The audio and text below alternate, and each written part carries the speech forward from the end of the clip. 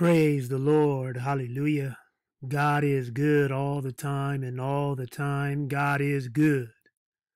Lord, I am weary after a long day. I lift my chin and look to you. I offer you the cares from the day, the concerns of my heart, and the things that keep me up at night. Take my sincere yet imperfect offerings and miraculously multiply them to meet the needs around me. When I crawl under the covers tonight, help me to remember that I'm not under my circumstances. I'm safe under the shadow of your wing. Cover me with sweet, nourishing sleep tonight. Oh, how I love you. In the name above all names, I pray and ask it all, Jesus, the Christ of Nazareth. Amen. Well, thank you for coming back to another teaching installment of When the Temple in Heaven is Open. Everything will change. And uh, the, the prayer that we just offered up to the Lord was sent to me right before I was about to make this video. Uh, uh, got this text message of this prayer. And so uh, I thought I would pray it with you guys at the beginning of this video because it spoke to me. And uh, I know the Lord, He hears our prayers because uh, the God of Israel will never sleep nor slumber, but His ears and His eyes are always open, waiting for us to call on Him so that we can be in alignment with His will and His purposes, because His favor is upon those who diligently seek Him. And I know all of us who uh, are tuning into this channel and those who are part of the body of Christ, we are all one in Him. And because we are all one in Him, His goodness and mercy follows us all the days of our life. And so, because we know the promises of God to be yes and amen, today I want to talk about the promises of God, which are yes and amen. And because all the promises in Him are yes and amen, we understand that God is about to move in order to fulfill the promise that we are all waiting for, which is the glorious appearing of our great God and Savior, Jesus the Christ of Nazareth in the clouds. And on that glorious day, we are going to assemble in the clouds to meet him in the air. And so shall we ever be with our Lord. And the Bible gives us scripture after scripture after scripture to tell us about what to expect leading up to that glorious day when the yes and amen will be fulfilled when we see him face to face, when we see him just as he is, and when we put on immortality and death will be swallowed up in victory. And because the Bible tells us so much about this soon coming day. It is always needful for us to meet together, hallelujah, and discuss these things because uh, the Bible tells us to comfort one another with the words of the rapture, with the promise of his coming, with the promise of his appearing when he will suddenly come and be admired by all those who are yearning to be with him. And so, with the knowledge of the scriptures that we have, I want to talk about how truth is stranger than fiction. Because I want to show some things that we see going on in the secular world uh, because God calls us to be in the world but not of it. And I want to bring our attention to what is going on out there in the world because the world is being prepared for a strong delusion. The world is being primed for a strong delusion. And truth is stranger than fiction, which is why you are reading this um, definition of what that means, which states sometimes what actually happens is more bizarre than anything that could have been imagined. You see, the world, uh, they come out with movies and shows and uh, trying to describe what's going to happen at the time of the end. But all of these shows and movies and programs that the world has pumped out from Mad Max to the Book of Eli, uh, uh, to Armageddon, to uh, you know, on down the list, The Omen, you know, uh, The Purge, you know, every every every demonic, every satanic, every uh, type of Hollywood uh, special, uh, you know, that they've pumped out is only a fraction of how truth, of how truly the end times is going to be. It's only a fraction. It's only it's only a fraction Okay, it's only uh, the imaginations of fallen man that pumps out these videos because what is actually going to happen, according to what thus saith the Lord, will be far more bizarre than anything that could have been imagined. I only have to point you to Revelation chapter 9 to prove that.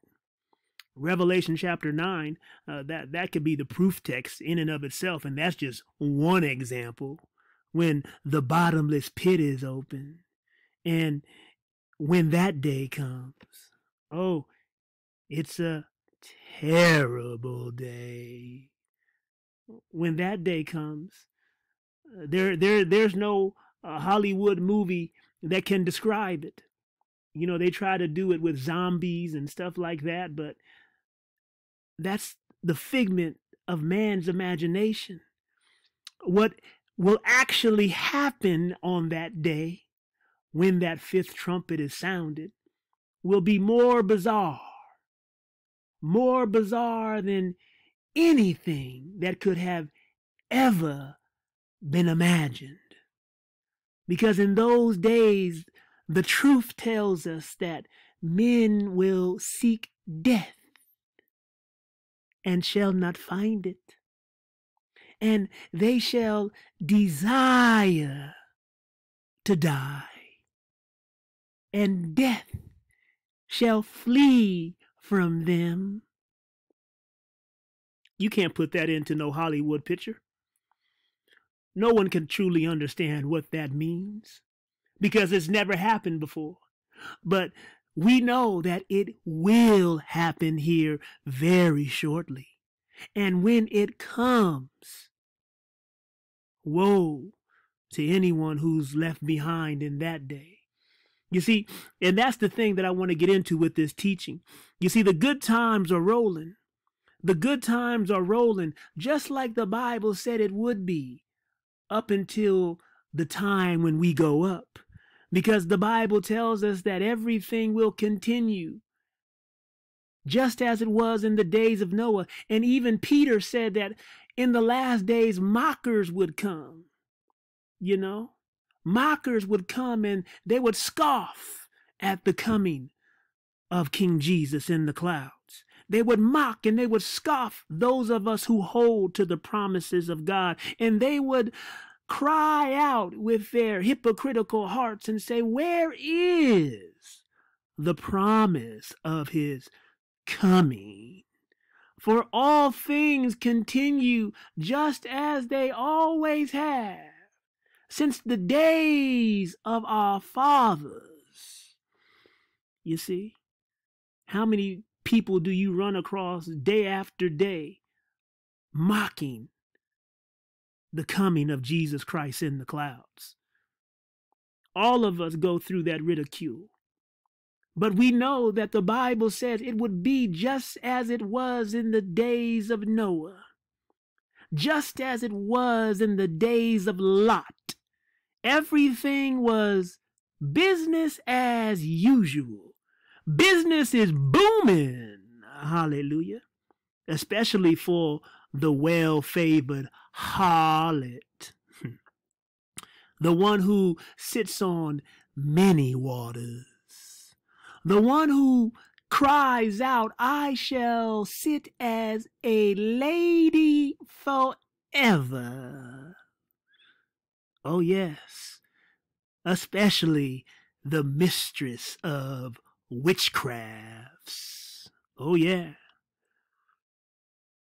Especially for the country who cries out, MAGA, MAGA, MAGA. Let the good times roll. Okay. You see, everything is booming. Uh, hallelujah. Just like the Bible says it would in the last days. And that's what I want to get to right now. So let's go to a couple news articles and let's paint this picture because the truth is stranger than fiction. Now watch this now because we're going to go over some things and I pray that you're uh in tune uh, on the same wavelength as the Holy Spirit. And I trust that you are because you're tuned in. Hallelujah. Uh, and so here we go. This is uh, from the Market Insider, December 8th, 2019. For the first time in U.S. history, a decade will pass without the country falling into a recession. Read the bullet points. In every decade since the period immediately before the Civil War, the U.S. economy could be relied on to do one thing tumble into recession. But the American economy is on pace to defy that trend for the first time in nearly 170 years as it enters the 2020s. The two the 2010s would be the first time a decade has come and gone without the nation falling into recession, which is commonly defined as two consecutive quarters of contracting GDP, gross domestic product. Economists told Business Insider some supporting factors include the extremely slow recovery and people continuously looking for work. And then I'm going to read this and then uh, uh, I want you to pay attention to a couple key words. In every decade since the period immediately before the Civil War, the U.S. economy could be relied on to do one thing tumble into a recession. The last one stretched from December 2007 until June 2009, unleashing 18 months of massive job losses and historic rates of home foreclosures. The severe downturn also triggered a global financial crisis that some experts say contributed to the rise of authoritarian and populist leaders around the world. But the American economy is likely to defy that trend for the first time in nearly 170 years as it enters the 2020s. The two, 2010s would be the first decade, uh, will be the first time a decade has come and gone without the nation falling into recession, which is commonly defined as two consecutive quarters of contracting GDP. The close of the decade will cap an extraordinary period for the U.S. economy one that saw it recover from the depths of the Great Recession and lock in a record interval of sustained growth. President Obama steered an economy on the verge of collapse and helped put it back on track, which was continued under President Trump. So you get the picture. The good times are rolling, and uh, this is monumental history that we are experiencing uh, because we are alive for such a time as this. So, a decade is going to pass without the U.S. economy falling into a recession, the first time in U.S. history, the first time since immediately before the Civil War. And so remember the Civil War because I'm going to show you a clip about how truth is stranger than fiction. Remember the Civil War. And who was the president of the Civil War? Well, it was none other than Abraham Lincoln. Okay, so just keep that in the back of your mind as we continue to work through this. So you get the picture. Uh, the uh, to put it in a biblical context, uh, remember uh, the story of Joseph. Joseph said that there would be uh, seven years of plenty in all the land of Egypt, but then there would be seven years of famine, and the seven years of plenty would be forgotten. So uh, this speaks of how there has been uh, nothing but plenty in uh, the U.S. economy. Everything is at an all-time high, especially now as we go to this next uh, article right here. November 26, 2019. U.S. stocks end at all-time highs. Major indexes clinch 10th record close of November. So here we see that uh, the stock market is at an all-time high. Okay, the stock market uh, is at an all-time high, and because the stock market is at an all-time high, everything is going fine and dandy. everything is going fine and dandy for those who have all the money. Okay, and uh, for those who are uh, you know, doing pretty well.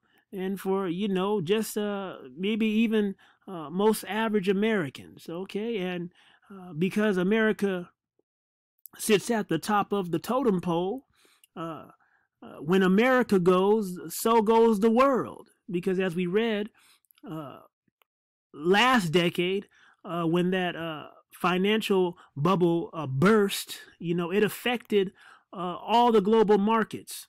And so, uh, whenever something like that happens to America, it also affects the whole world. Uh, but when America is is thriving, when America is being great again, uh, it affects all the world's economies because uh, everything is connected uh, with the well favored harlot. And so, I brought up the story of Joseph because we know that in the story of Joseph, Joseph was in Egypt, and Egypt is always symbolic of the world.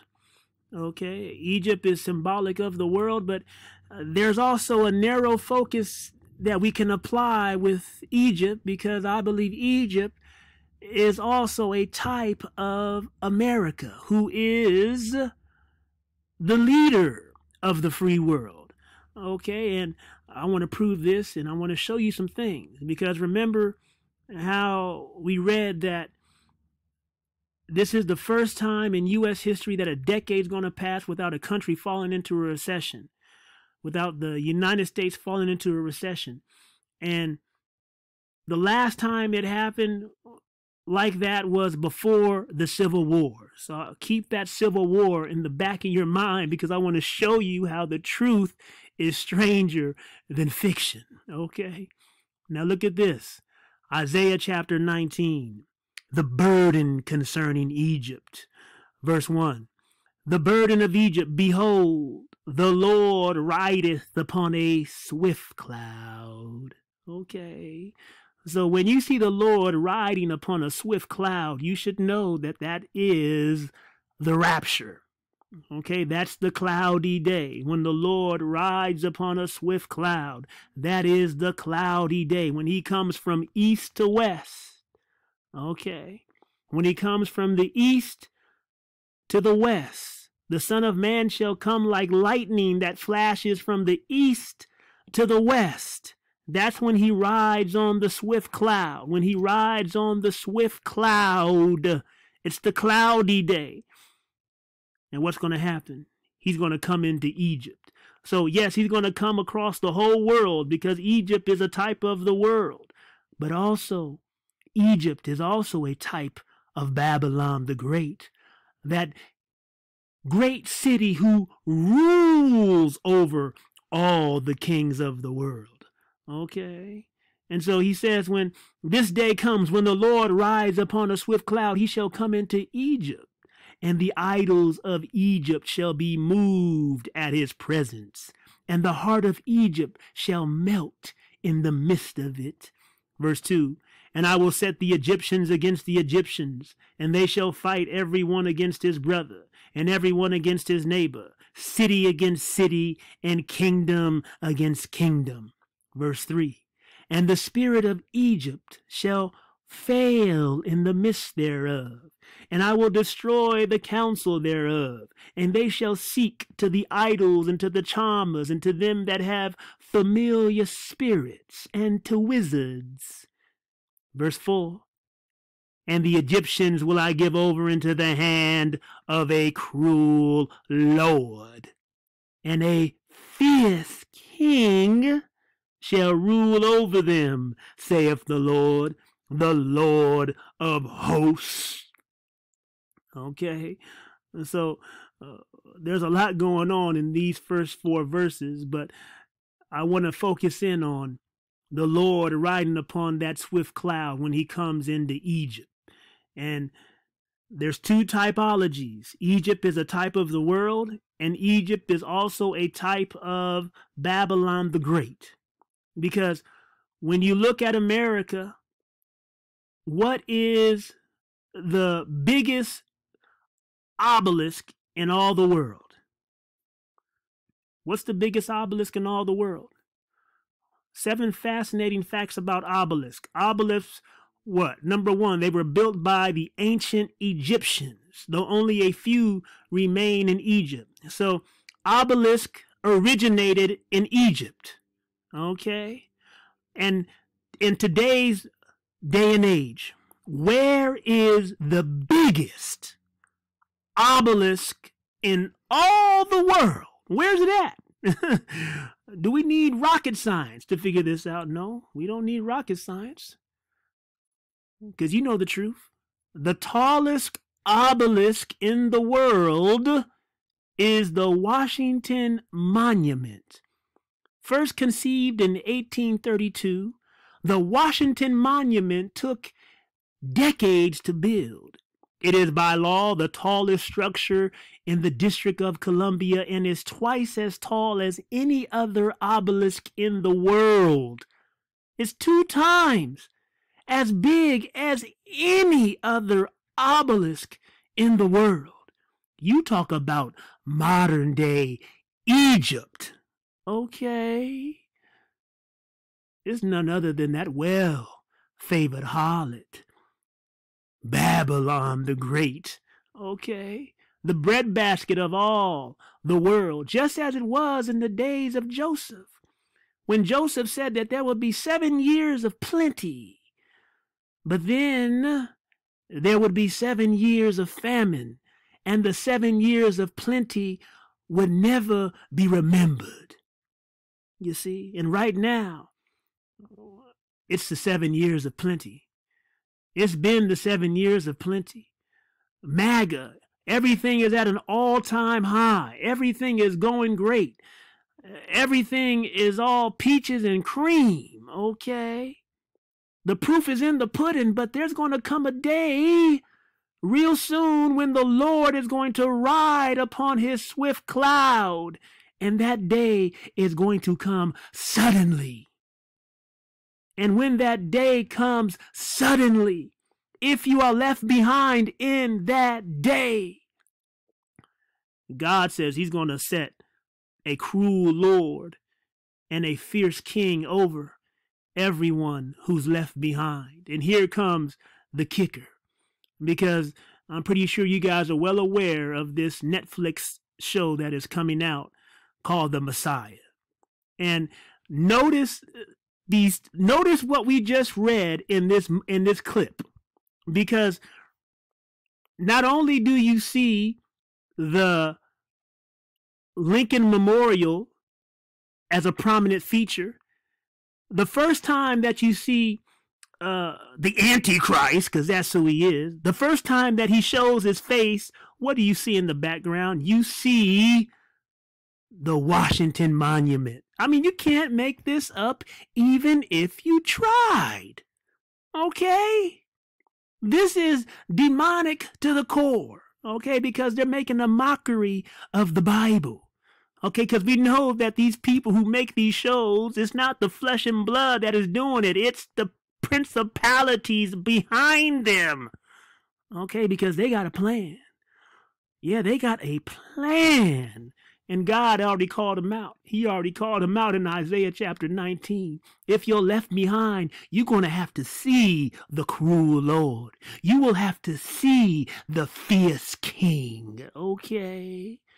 Because if you're not caught up when the Lord rides upon a swift cloud, when if you're not caught up on the day of sudden destruction, oh, if you're not caught up when God will shake all the idols because of his presence, okay, and Babylon the Great, modern day Egypt will receive that double portion of destruction. If you are not caught up on that day, oh, you're going to have to see the cruel Lord you're going to have to see the fierce king. Okay. And here goes a taste. But remember, the truth is stranger than fiction. Now look at the Lincoln Memorial and the Washington Monument and the Antichrist. Look at this. He's come out of nowhere and we don't know who he is. What do we know about him? Lincoln Memorial. He's leading desperate people. So this is a cult? We don't know who he's associated with. He could be creating an army. Lincoln Memorial. Obelisk. Leading them to their death. Look at it. Look at his face. Washington Monument right there. Look at that. Look at that. Tell me that. I mean, I mean, I mean, this is, this, you see, we're dealing with principalities here, okay? We're, we're dealing with the arch enemy himself. Okay? It couldn't be any more blatant than that. The Lincoln Memorial pictured first, and then right when the Antichrist shows his face, what's in the back? The biggest obelisk in the world. Okay? You talk about the fierce king, okay? You talk about the cruel Lord, okay? You don't want to see his face, my friends. You don't want to see the face of the cruel Lord. You don't want to see the face of the fierce king. You don't want to see the face of the serpent. Okay?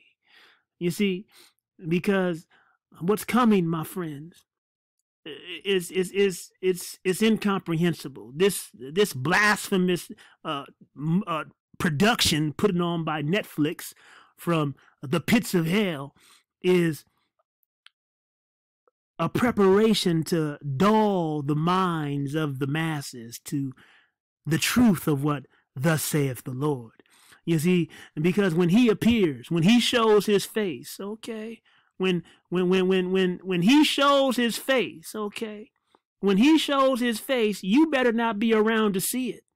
You better not be around to see it. Look at this. The, the, the Washington Monument, the biggest obelisk, the first time in this trailer when they uh, meticulously set this up by uh, the powers of darkness. The first time he shows his face in the trailer, he shows it, and the obelisk is right behind him. It's right here in Isaiah chapter 19.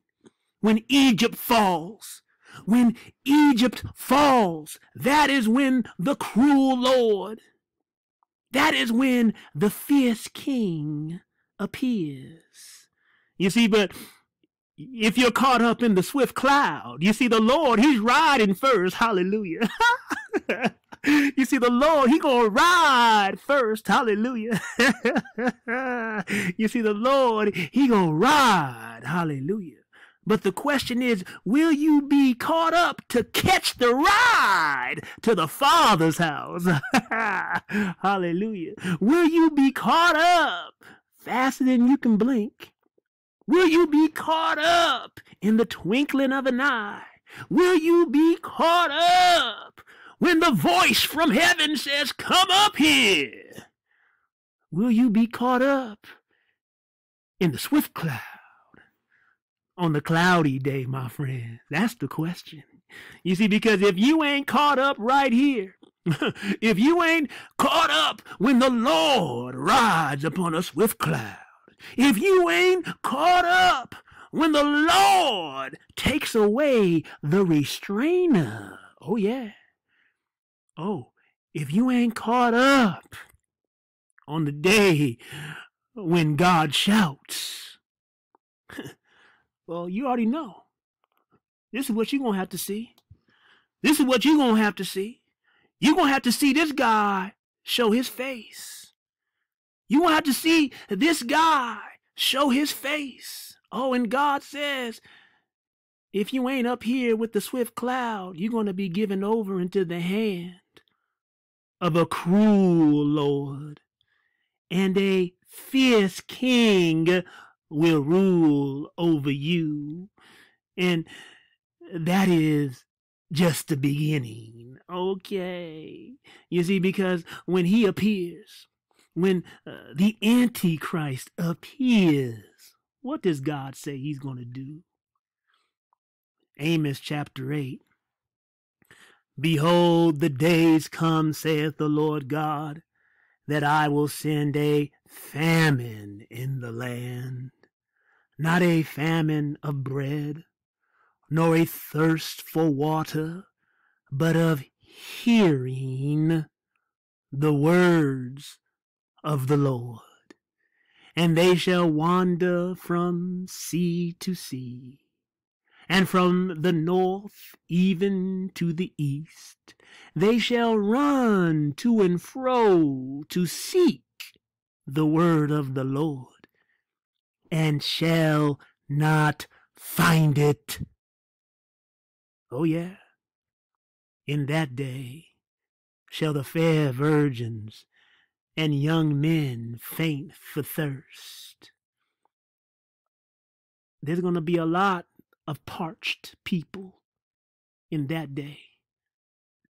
There's going to be a lot of parched people in that day. No one to give them any water because the cruel Lord has appeared no one to give them any food because the fierce king is ruling. And he says, if you want food, okay. if you want that bowl of stew, oh, because this famine, oh my goodness. Oh, this famine is multifaceted. And because uh, people who are left behind uh, will be devoid of any spiritual understanding because there is no water. There's no one telling them the truth. They will sell their soul for a bowl of soup. Oh, you want to eat in the kingdom of the fierce king. You want to get that bowl of soup. You got to take the mark. Oh, yeah. The truth is stranger than fiction. You got to take the mark if you want bread and water in that day. Okay. You got to be Esau. You got to sell your birthright. You got to despise the blessing. You got to sell your birthright to the fierce king. Okay. You got to take that mark and sell your soul for a bowl of stew. It's a cruel Lord, my friends. The Bible uh, pulls no punches. This is just one example of many. But as you can see, the truth is stranger than fiction. Here we have an article written a couple days ago which mentions the plenty that the United States is experiencing for the first time in 170 years, not since the days prior to the Civil War. Okay? The Civil War where Abraham Lincoln was president. Okay? And then you get to uh, this movie about the Messiah, Two times they showed the Lincoln Memorial. And right before, right before, right before he shows his face, right, right, right when he shows his face, what, the, what appears? The Washington Monument. The Washington Monument, the biggest obelisk in the world. Modern day Egypt, my friends. Modern day Egypt is the land of plenty, just like Joseph's dream. It's the land of plenty. Seven years of plenty. Seven years of plenty. Okay, the America has been going through plenty and plenty and plenty and plenty. It's the well favored harlot. Okay. It's Babylon the Great.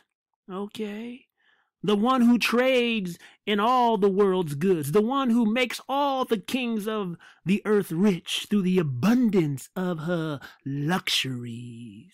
Read it right there in Revelation chapter 18. It's the one who says that she can never be defeated. But God says on the day of sudden destruction, Babylon will come tumbling down. And that's just the beginning. That's just the beginning. That's just the beginning of the fall of this place in the background because now he's turned his face. Now the restrainer has been removed and now you see his face. If you're left behind, you see, so the question is are you willing to gamble with your soul? Are you willing to gamble and roll the dice with your soul? You see? Because what's coming, my friends, is the gamble of all gambles. What's coming, my friends, is the gamble of all gambles. So, if you really think that you want to roll the dice with God, hey, you got your own free will. all I could do is tell you that you're going you going to roll snake eyes. Either way, you're going to roll snake eyes. Either way, you're going to roll snake eyes if you gamble with God. Okay, because if you gamble and you say you can be a prepper, you could you could you could hunker down.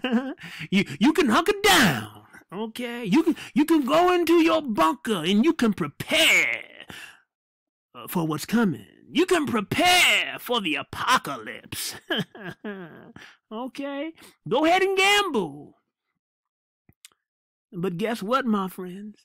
Even if you somehow survive the cloudy day, okay? even if you somehow, okay? Even if you somehow survive when the Lord rides upon a swift cloud. Oh, because there will be many dead bodies in every place.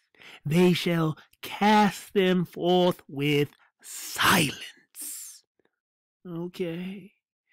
If you somehow survive the swift cloud, okay, you still gonna roll snake eyes. Because now you are gonna be given over into the hand of a cruel lord. And a fierce king shall rule over you. Because now you got to see his face. Oh my goodness. It's snake eyes either way. It's snake eyes either way Okay. You don't want to gamble with God. You don't want to gamble with God. You don't want to hedge your bets. You don't want to bet at all. What you want to do is give your life to Jesus Christ, the King of Kings and the Lord of Lords. You want to accept him as your Lord and Savior by calling upon his name. For whoever shall call upon the name of the Lord, we shall be saved. Do it today. Do it now. Don't wait another second. Drop down to your knees and cry out if you haven't cried out right now. And give your life to Jesus Christ because what's coming is stranger than fiction. What's coming is more strange and more bizarre than anything that anyone could imagine. This isn't even a smidgen. Whatever they're showing in this preview is not even a smidgen of what's going to happen when the door when the door, oh my goodness, hallelujah for me and you who know him, but when the door to the Father's house opens, you can't even imagine the destruction. okay, it's God who's coming. You can't imagine it. You can't imagine it. But the Bible goes at length to describe what's going to happen. And God says, when He comes down and He rides upon a swift cloud, He says, the mountains will be molten under Him. Okay. Tell me what that means. I'll wait. Tell me what that means. I'll wait. I'll wait for Hollywood to make a movie that can show the mountains melting. I'll wait. Uh, I'll wait for uh, Hollywood to show me this. Oh, you want to see the swift cloud, huh? You want to see the swift cloud? Let's see the let's see the swift cloud when the Lord rides to get us.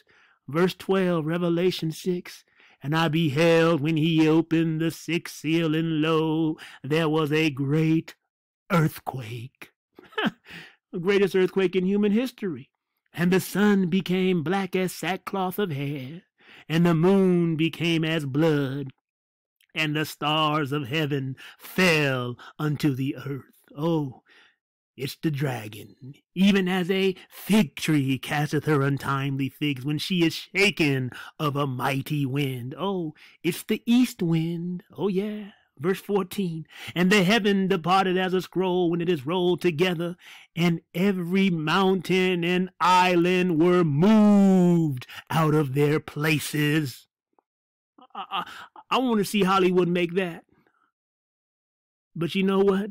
Hollywood don't have to make that because that will be a reality real, real, real soon. It's the cloudy day, my friends. And for those who wanted to gamble with God, look at them. Everyone left behind. And the kings of the earth, and the great men, and the rich men, and the chief captains, and the mighty men, and every bondman, and every freeman hid themselves in the dens and in the rocks of the mountains, and said to the mountains and rocks, Fall on us, and hide us from the face of him that sitteth on the throne, and from the wrath of the Lamb for the great day of his wrath is come. And who shall be able to stand?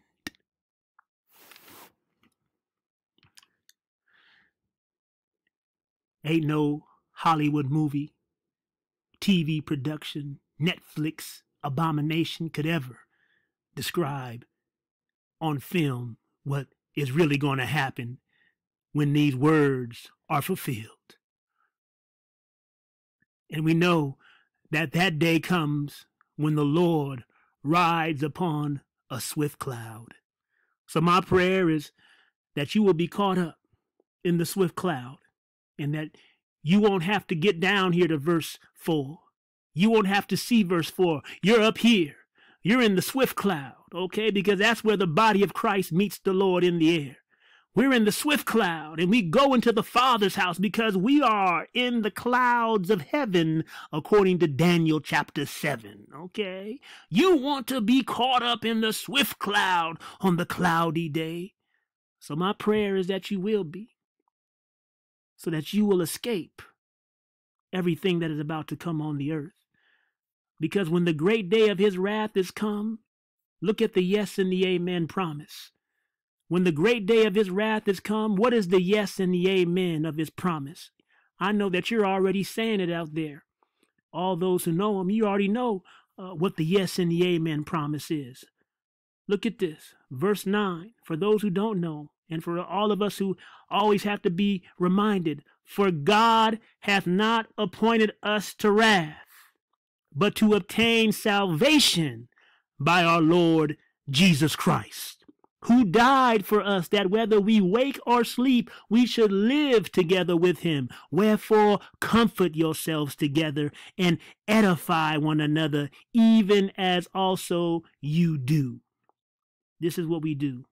We edify one another. We talk about these things. We encourage one another. We comfort one another because God will not leave us behind. God will not let us see the day of his wrath. The day of his wrath is connected to the day when the swift cloud comes and Jesus Christ is on top. As Revelation chapter 14 tells us. Revelation chapter 14 shows us the swift cloud. Revelation chapter 14 shows us the swift cloud, and then I'm done. Verse 14, Revelation 14. And I looked, and behold, a white cloud. That's the swift cloud. That's the cloudy day, my friends. This is the rapture. No ands, ifs, or buts about it. And upon the cloud one sat like unto the Son of Man. That's Jesus. Having on his head a golden crown, and in his hand a sharp sickle. Verse 15 Here comes Michael the archangel. And another angel came out of the temple, crying with a loud voice to him that sat on the cloud, Thrust in your sickle and reap, for the time is come for you to reap, for the harvest of the earth is ripe. And he that sat on the cloud thrust in his sickle on the earth, and the earth was reaped. Every one of us who are reaped on this day, we're caught up in the swift cloud, right here called the white cloud. Isaiah 19 called the swift cloud. It's the cloudy day. All of us who are caught up on this day, we will escape his wrath because look, there's people left behind. Verse 17 and another angel came out of the temple which is in heaven, he also having a sharp sickle. And another angel came out from the altar which had power over fire, and cried with a loud cry to him that had the sharp sickle, saying, Thrust in your sharp sickle, and gather the clusters of the vine of the earth, for her grapes are fully ripe. It's the grapes of wrath, my friend. It's the grapes of wrath who are being gathered into the great winepress of the wrath of God. These are everyone who is left behind, who will have to see the cruel Lord, who will have to see the fierce king, who will have to see the face of the serpent. I pray that's not you. I love you. God bless you. For surely King Jesus comes quickly. Maranatha. Amen.